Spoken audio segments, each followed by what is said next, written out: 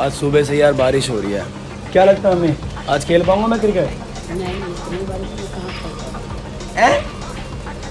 कभी भी क्रिकेटर से ये बात बोलना कि वो इतनी बारिश में क्रिकेट कैसे खेल पाएगा?